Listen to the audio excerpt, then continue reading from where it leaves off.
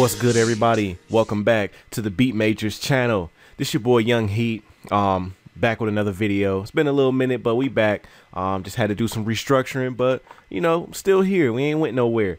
Um, so today, recently, I got a question from somebody basically on what my quantize settings are. Um, and I'll break this down. i will turn this into two videos. I kind of want to just show you guys on this one how to quantize and then the next video I'll make, basically, which, which will be kind of a part two, will be specifically my settings that I that I use or that I've built up um, over time. So in this beat here, I, I'm just want to pretty much use the quantize settings on the hi hats. Um, I already have a hi hat pattern here, and I'll let you hear what it sounds like.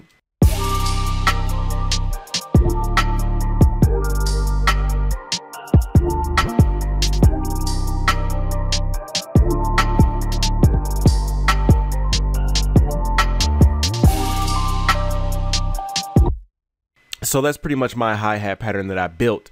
Um, now what I'm gonna do is I'm gonna just gonna like lay a pattern down on the on the keyboard here for the hi-hats and I'm gonna show you guys my my technique of quantizing um, when you're you know using these uh, just the regular quantize um, settings. So let's try it out here. So I'm gonna just do um, like a basic hi-hat pattern on the keyboard and then I'm gonna show you guys how I quickly quantize those hi-hats. So let's get into it.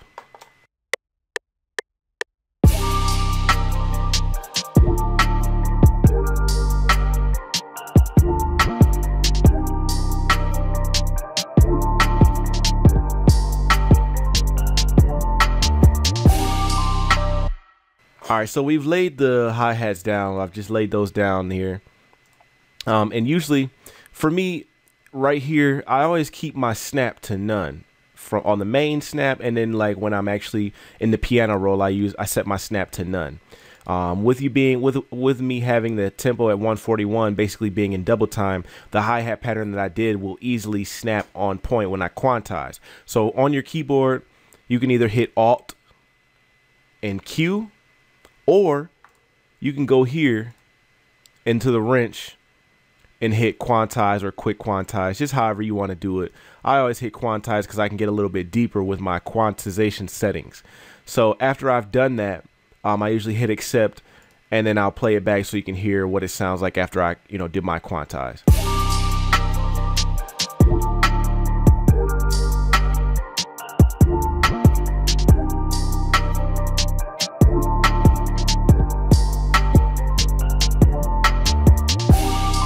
So pretty much what I did, with the exception of one spot here, the quantize is pretty on point. Um, and that's usually how it works for me. Um, I like to keep my none off because of the simple fact, like I said, I don't like any type of.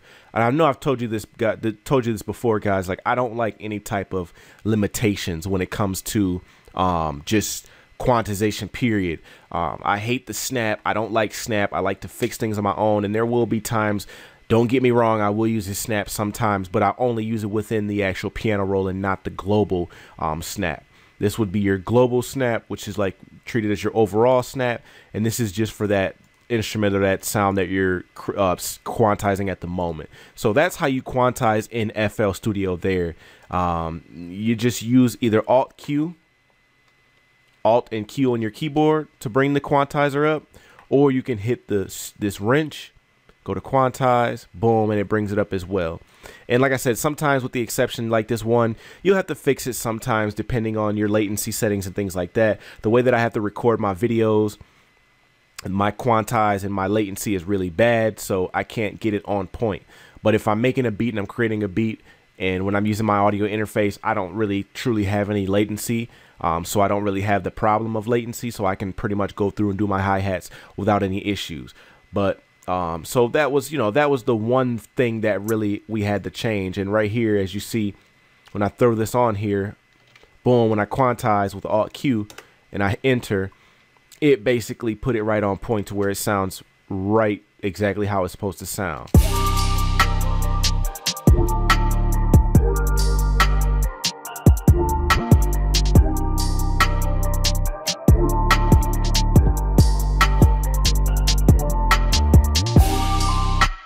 And that's pretty much it. And that's how you quantize in FL Studio. I hope you guys like this video. I hope you guys enjoy this video. If this gave you some value or if this helped you out, please definitely like, comment, and subscribe. And make sure you guys hit that bell button so you don't miss any more of these videos. And until next time, guys, I holla. Peace.